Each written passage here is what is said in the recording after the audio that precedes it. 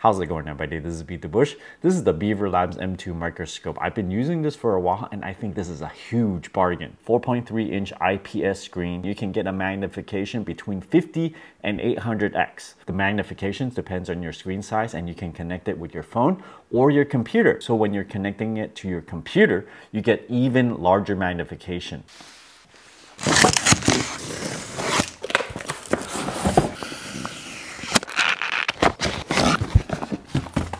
Manual observation record book, bunch of stickers, specimen collection box, individual compartments in each, there's 21 total compartments, microscope accessory box, a pair of tweezers, eye droplet, USB-C cable. These are magnetic slide hold downs, glass discs for your specimens. There's four total glass specimen slides. Each one has five slides.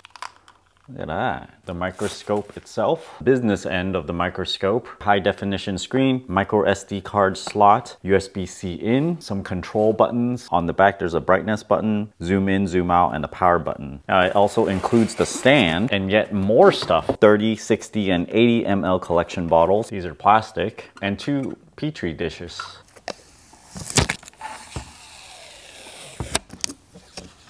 This is the brightness setting. This knob will change color from white to red purple, orange, green, it's a blue now, and finally purple. It's a smooth gradient, so you can adjust it to the color that you want. It can be used by itself or you can remove the cap, insert it into the base, and this will allow you to adjust the height and also the focus here. 4.3 inch IPS screen, pretty good viewing angle, so as I turn this, you'll see less darkening of the screen than VA panels. Physically, the screen is 950 millimeters wide. I put this measurement gauge at the bottom, zoomed out completely completely. The digital zoom is also zoomed out completely and we get 23 millimeters. That's a minimum of 41x zoom. Now if I zoom in all the way, focus it, digital zoom is on the back so I'm just gonna push it until I'm all the way zoomed in. This huge thing is one millimeter wide and this corresponds to about an 800x zoom just using this screen. This gauge also has diameter measurements in microns. That's a one millimeter circle. That's a 0.1 millimeter circle.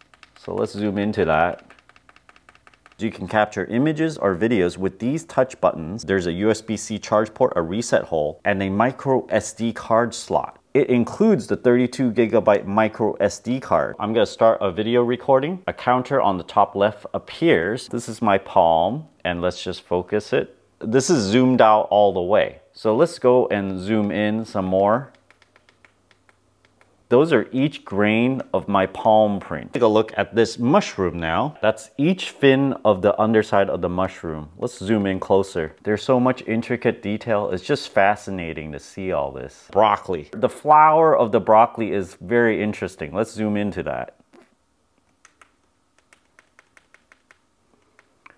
What the heck is going on? There's a little bit of white powder on the petals. I'm not too sure what that is. Let's capture an image here and see if it does any better. I've picked a fresh fig leaf. Let's take a look at this. Fig leaves are kind of fuzzy when you touch them. And I can turn on the backlight now. We don't have to use any coloring dyes. We can turn on the background color. Right now it's kind of like reddish. We can dye it any color that we want and it'll show right through. Just for contrast. This purple actually works out very well. Now let's zoom in. We can zoom into one of these cells there. Look at that detail. We can just look up and down the leaf here. This is the top side of the leaf.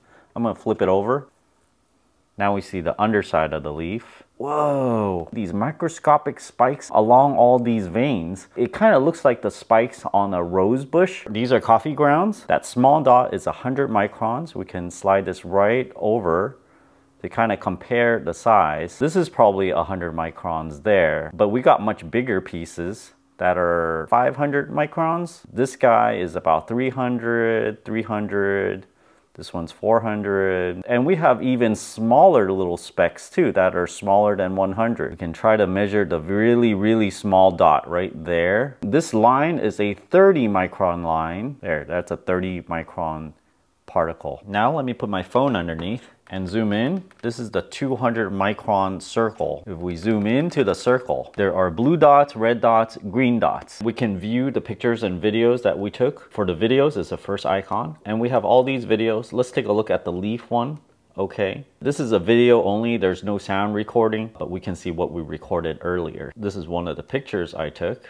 Wow, look at that. This is the broccoli. Their app is called Beaver Point. Just get that and download it. Open up the app, add the device, smart microscope, connect to DDL-M2. Password is 1234567 Make sure you have location services on, otherwise it won't connect. And now we can see live exactly what the microscope is seeing. There's a little bit of delay one 1000, two 1000. My phone screen is slightly bigger and if you have a bigger phone, you're gonna get more magnification. So I can take a picture right here directly or record a video. Stop recording, go back, and then we can look at the device album, eight videos. These videos are the same ones I took before and we can play that right on the device or the one I just recorded just now. There are different versions of this. The M2C comes with just a microscope with no stand. The M2B comes with a stand, 10 pieces of glass slides, the clips to hold them, and a USB data cable. The M2A is kind of like the works. It comes with specimen bottles, more blank slides, petri dishes, droppers,